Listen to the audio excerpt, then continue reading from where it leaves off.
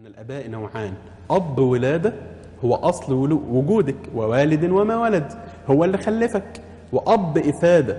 لذلك كل أب مش بالضرورة يكون والد ولا كل والد بالضرورة يكون أب.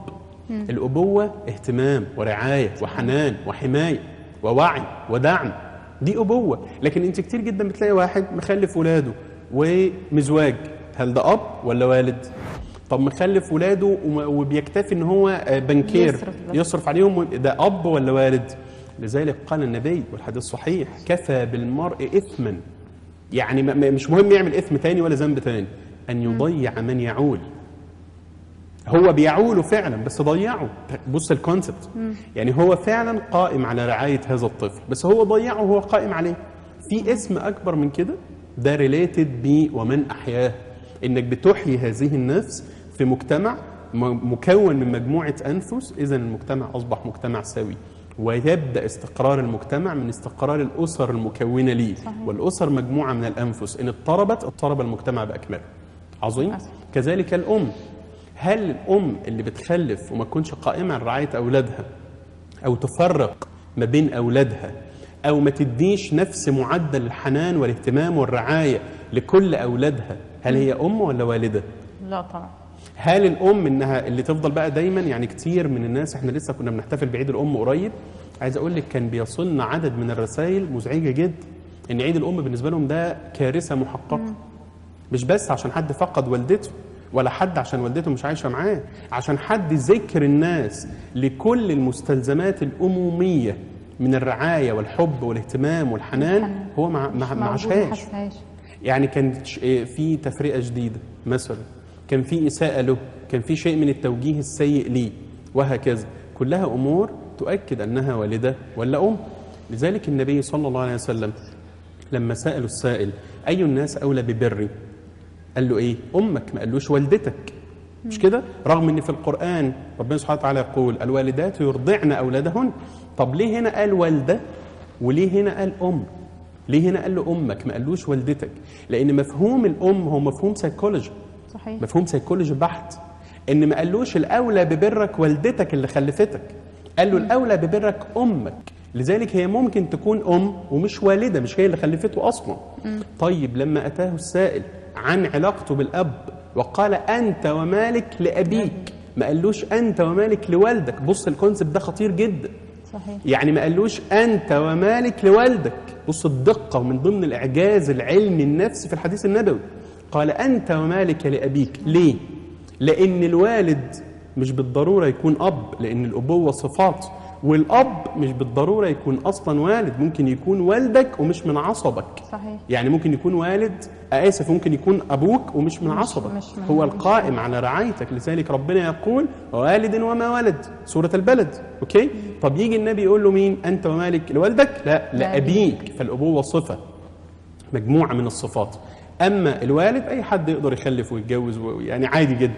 يعني إحنا عندنا مفهوم البر آه، للأسف بنطلقه كده ونحمل أطفالنا أكثر مما يتحمله نفسيا يا دكتورة رانيا بمعنى بتقول لك أبوه ما بيسألش فيه خالص وما بيعملوش حاجة وما ساعدوش وراح اتجوز تاني. ويعني الولد بيحاول يقرب منه وهو بيهينه بيعمل له مشاكل. بيأذيه طب هنا يعني فين دلالات الأبوة؟ فنيجي إحنا نحمل أكتر على على الابن ونقول له إيه؟ تبر طيب ما هو زي ما البر ده مرتبط بالعقوق. عقوق الأبناء. للآباء في عقوق من الآباء للأبناء. صحيح. ويمكن لما جيت عملت أحد الدراسات وذكرت عنوانها وبالأبناء إحسانا قالوا لي ده أنت بتحرف في الآية وقامت الدنيا ولم تقعد. طيب هو لما أتى السائل إلى عمر بن الخطاب وسيدنا عمر يعني معروف الفاروق الذي فرق الله به بين الحق والباطل وقال اذهب يا رجل في نهاية الرواية فلقد عققت ولدك قبل أن يعقق. يعني أنت بتمارس العقوق كأب في حق أولادك. عظيم. مسألة البر إحنا لا نحمل الأبناء أكثر مما يتحملوا في هذا الأمر. يعني بلاش إن إحنا نضغط عليهم نفسيا. وكتير جدا المتجرى بهذا الأمر دينيا. إن تلاقي الأب لم يهتم بأولاده سنوات. بعدين يجي يقول لهم أنا أبوك. فين البر؟ ليه ما بتبرنيش؟ يبقى في إرهاب طبعاً. نفسي بقى في حتة البر هنا وده بيحدث خلل كبير في الشخصية. هنا نسأل على طول حضرتك أب ولا والد؟ يعني حضرتك خلفت ولا ربيت؟ حضرتك اهتميت قدرت سندت أدعمت؟ ولا أنت آه، خلفت وخلاص؟ يعني لا يكلف الله نفسا إلا ما آتاها. ما تضغطش عليه أكتر من كده. هو ربنا أتاله ده هذا القدر من الأبوة وهو مش قادر يدي أكتر من كده. ما نضغطش على الأبناء بقى أكتر من ذلك. مفهوم الزرع والحصاد يا دكتورة رانيا. الناس فاهمة إنك تزرع مع أبوك تحصد من أولادك. للأسف ده مفهوم قاصر. لأنك مطالب بأنك تزرع في أولادك تحصد منهم. صحيح. واصلة لك؟ يعني أنت زرعت في أولادك رعاية واهتمام وحنية وكل الكلام الإنساني الجميل.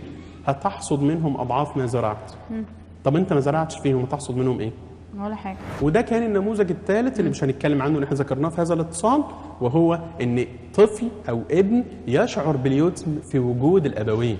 الأب والأم إذا ما اتفقنا إن هم بس مش بس مجرد والد ووالدة. هم أب وأم عايشين علشان خاطر يتاجروا مع الله سبحانه وتعالى بالأولاد دول ويطلعوا للأبناء أفضل ما عندهم عشان يطلعوا للمجتمع أفضل ما في أبنائهم. وإن أنت مهما عملت في حياتك أفضل حاجة ممكن تعملها إن أنت تصنع نشء صالح لهذه الدنيا. تاخد عليه أجر حتى بعد وفاتك. لما يموت ابن آدم ينقطع عمله كله إلا من ثلاثة.